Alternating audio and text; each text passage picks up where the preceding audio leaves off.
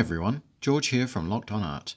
And in this video I'm going to be starting to build the US Marine Corps AH-1Z Shark Mouth from Academy Models. Now this kit is in 1 to 35th scale and on the side there it has some product photos of the finished model and on the other side there's a painting index and there's nothing on the bottom so we'll open it up and check out what's inside. Now I've gone ahead and bought some aftermarket accessories and we'll go over those in just a moment. Now first off we come across the very large decal sheet. It has the monitors there in the corner. And this is the shark mouth version so it has the decals for that. There's some unit markings, a couple of different colours for the US Marines and all of the warnings and caution labels are very clear. They're all readable a lot of decals there for the missiles. And there are a couple of uh, instruction manuals in here. The first one is the building manual. The second one is for the decals and it has some very nice large colour images of the paint scheme. There's a few different options there so the first of the sprues is the clear parts. Now the canopy is very nice and clear. These two here are identical. So we have the rotor, main rotor blades and the missiles and the engine exhausts. This next sprue is the tail end it's got the main body of the engine, the wings there that the missiles attached to. So the last couple of sprues are the main body and the cockpit. See, as you can see there, there's a lot of fine detail on there. Nice panel lines. The rivets are all nice and crisp. So there's the main cockpit well. And all of the instrument panels for the two cockpits. They're both basically identical. So as I said before, I've bought some aftermarket kits. The first one is this brass turned Gatling cannon. I've also bought a set of seat belts for the cockpit, just to give it that added bit of realism. And finally, what I'm most excited about is a set of monitors and control panels. These are also pre-painted and coated in resin and also included in that kit was a sheet of photo etch a lot more of those finer details. So I'm going to be starting off with the cockpit first and what I need to do is prepare all of the parts for the photo etch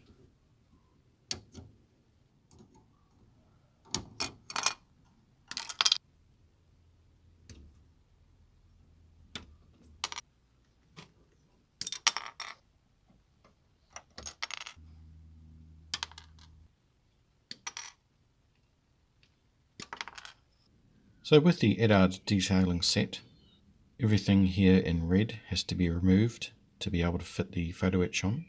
Now some parts are quite tricky to get out, like these foot pedals here. So I'm just going to use the nippers to take off as much as I can, and then file the rest down.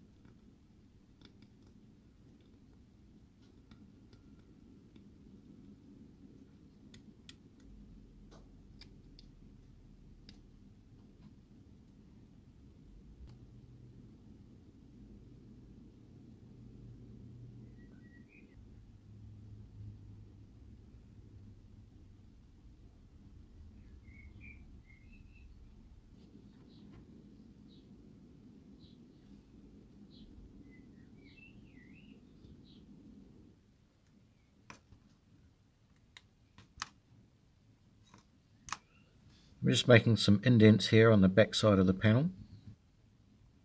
And when I flip it over, it'll have the raised portions there on the top.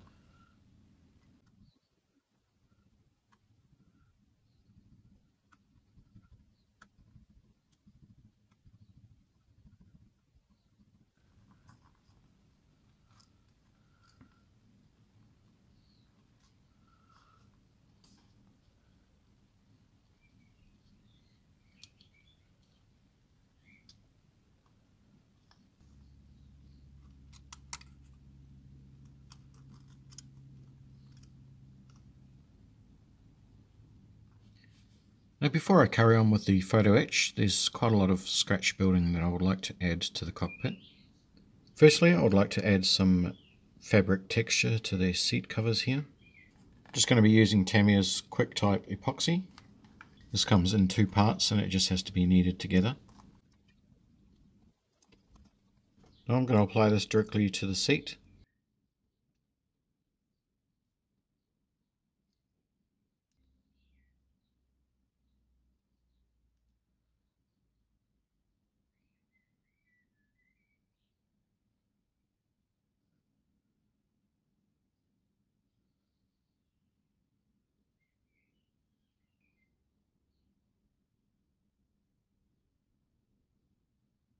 I'm just going to add a wee cutout now for where the seatbelts go.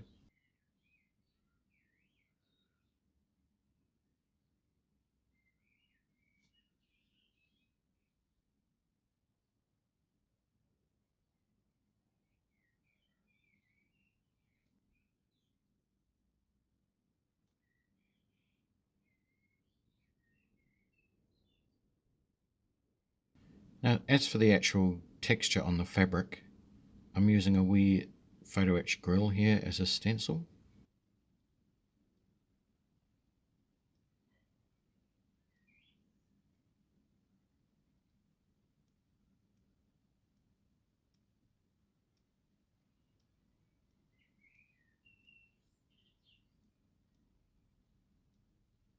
So now that both of the chair backs are done, I'm going to let this cure overnight and then I can work on the headrests.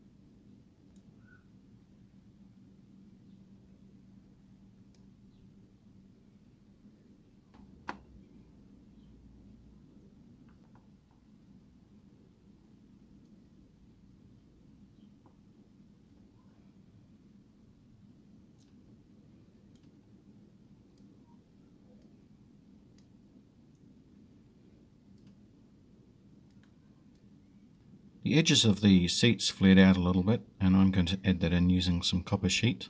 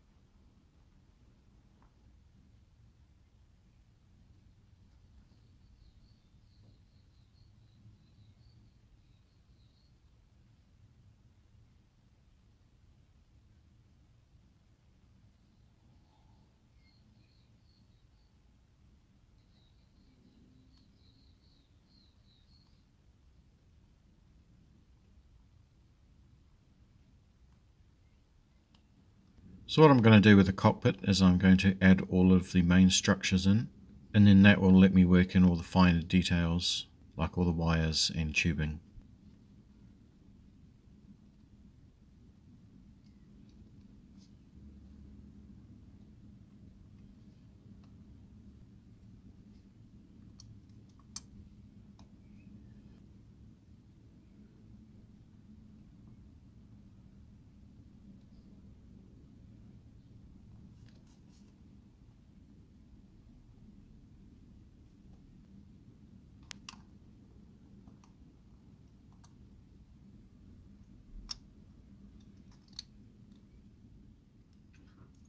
Now these two panels here with the mission grips on them, I want to work on those separately, so I'm just going to take those off.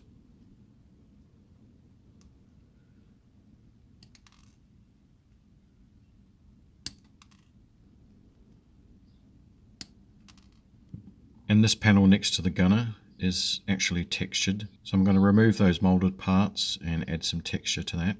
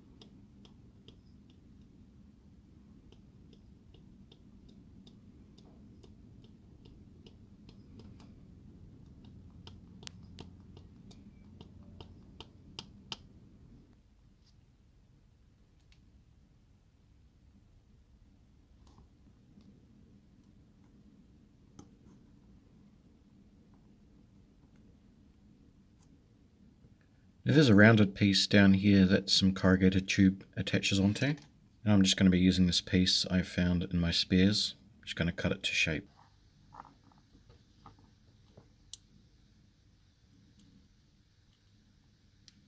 Now I feel that this piece here is a little bit too far forward.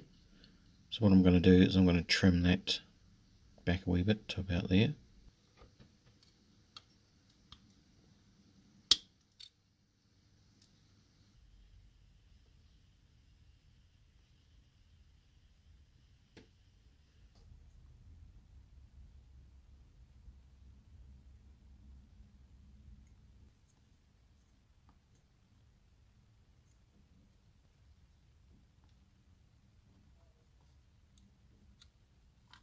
Now there's quite a few electrical boxes and panels along the back here near the pilot that have been missed out on this model. For the bulk of it I'm just going to be using some of this foam brick here and then adding the panels with some styrene or brass sheet. And I feel this box is sitting a bit high. I want it to come to about here. So I'm just going to remove that top portion with a saw.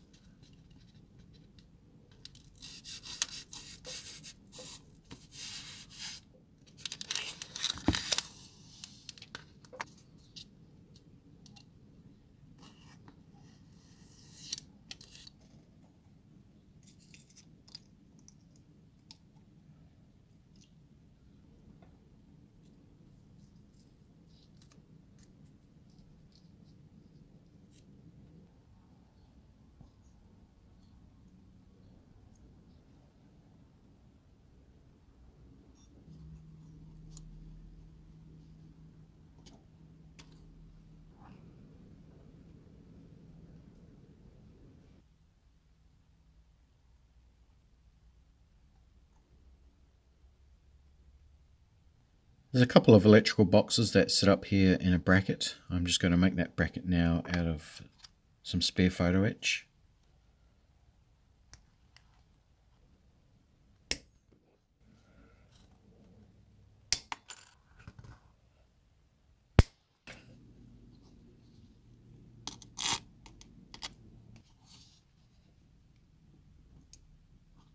and the electrical boxes that are going in the bracket.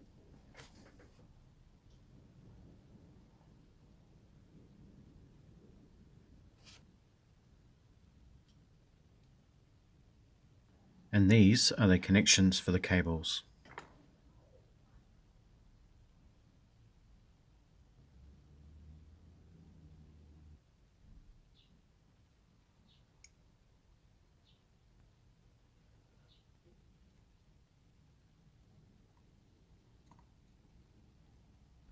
For the Mission Grips power supply, the bracket here on the back was made of a sheet metal and then bent into shape. So it was actually hollow in the middle. So what I'm going to do is I'm just going to make one out of brass sheet.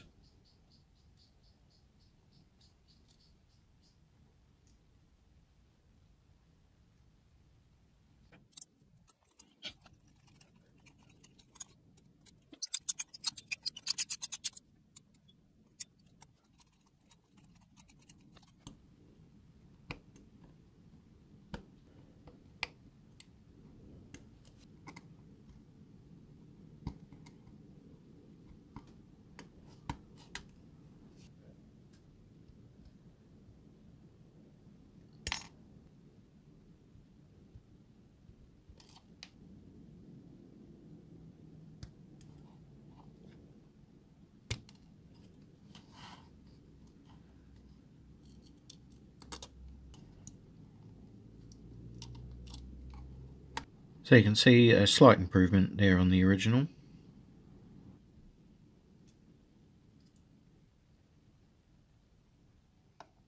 For the air duct tubing that goes from this port here up and over and down behind the seat, I'm going to be making that out of putty rolled into tubes. And I've made this wee tool here just to give it that corrugated look.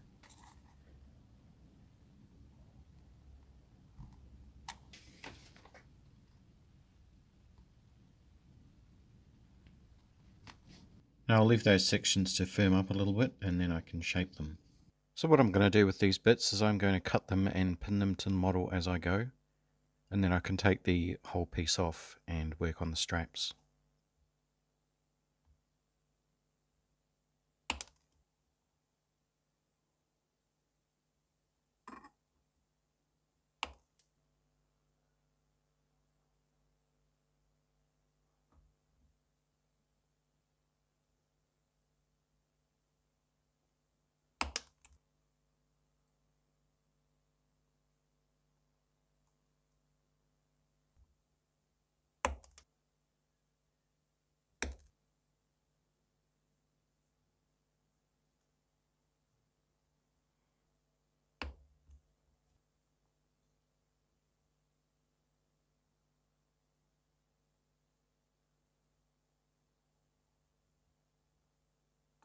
And for the straps themselves, I'm using some strips of foil that I've cut to size.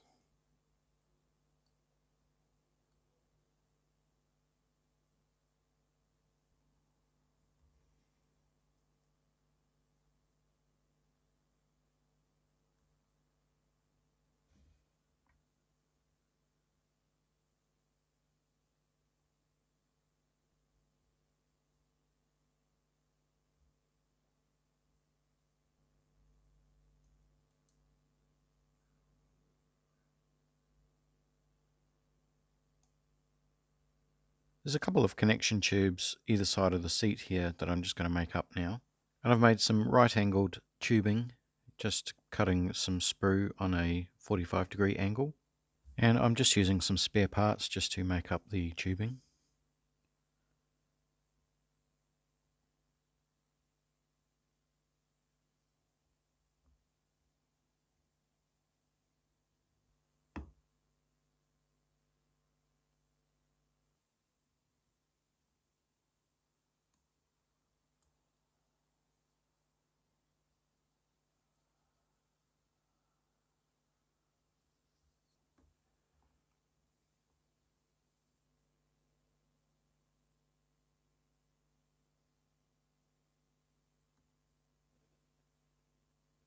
Just adding on the mission grips power supply now. And also the cable that goes with it.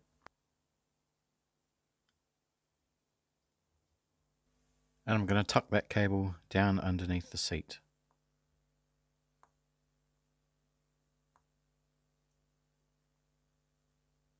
So there's a few more electrical connections I want to add to it. And one of them goes through a bracket. So I've made one here, stuck it to some brass sheet and cut it out.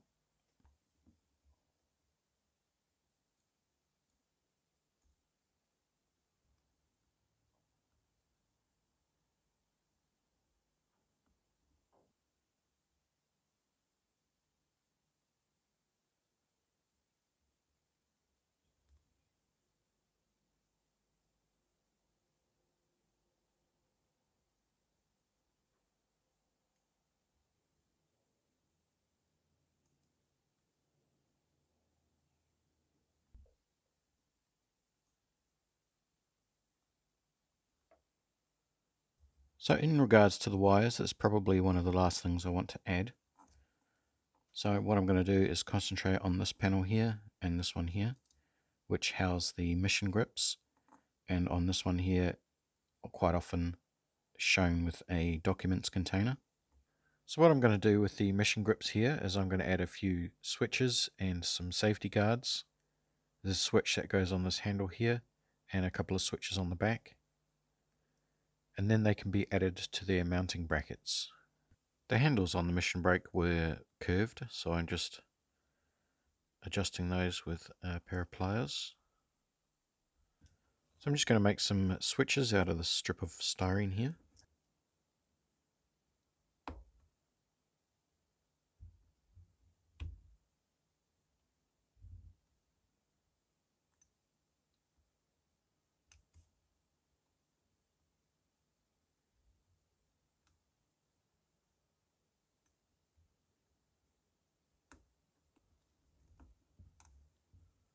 So I've basically got to make four pieces that look like this and two that look like this.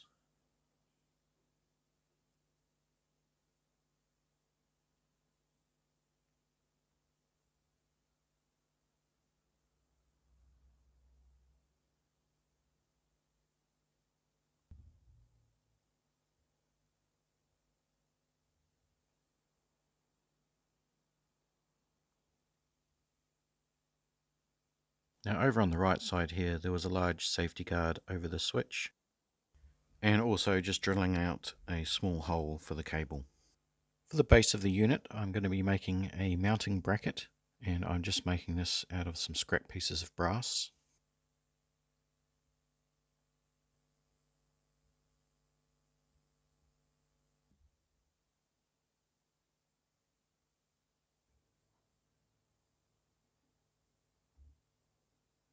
The mission grip unit, when not in use, was stored on a base panel, which was stored on top of this armor plating here. I'm going to scratch build that panel and the mechanism now.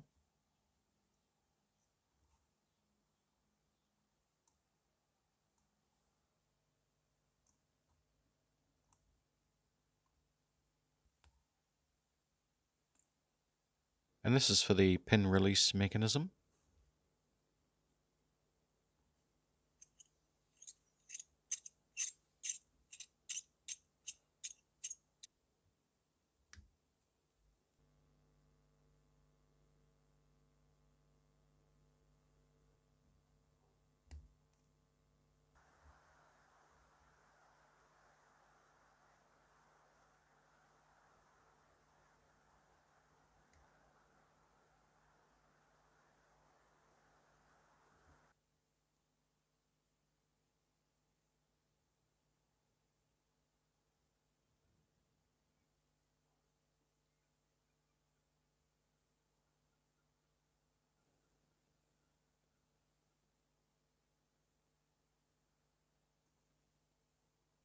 For the documents container, I've cut a shape here out of brass, and that's going to be the front of the container.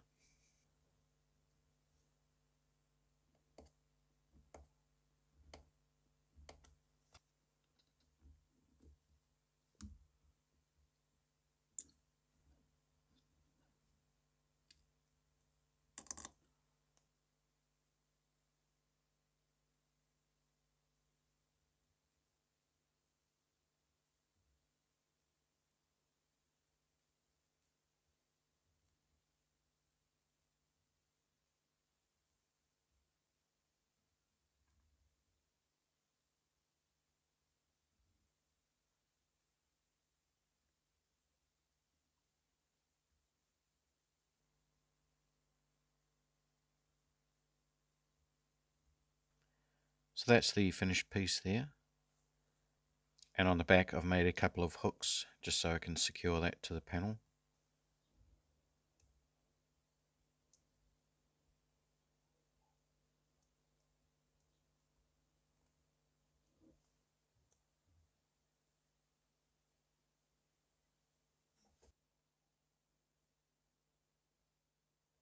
So I'm wanting to add a panel next to the gunner's seat, which will hold the mission grip connections. And I'm just going to make it out of some brass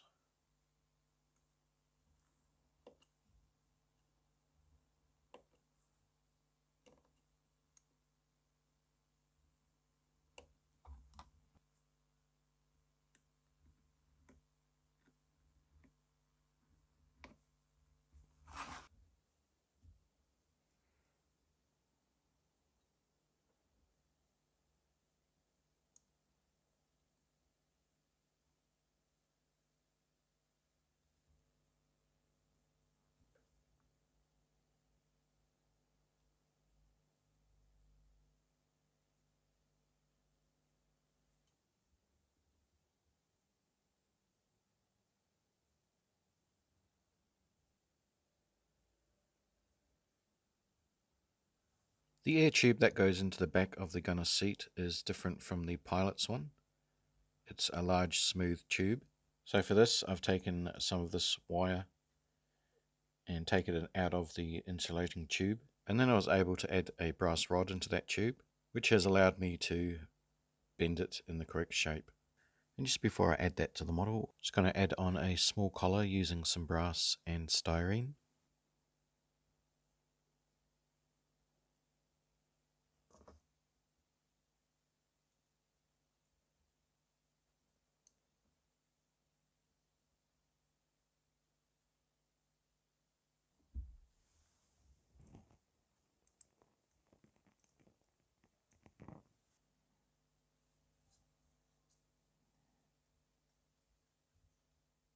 And now with that tube added, this is where I will conclude the video. If you've enjoyed watching this video, please don't hesitate to let me know.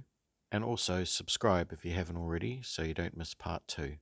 And please head over to locktonart.com and check out my blog where I post photos and information regularly. And until next time, thanks very much for watching.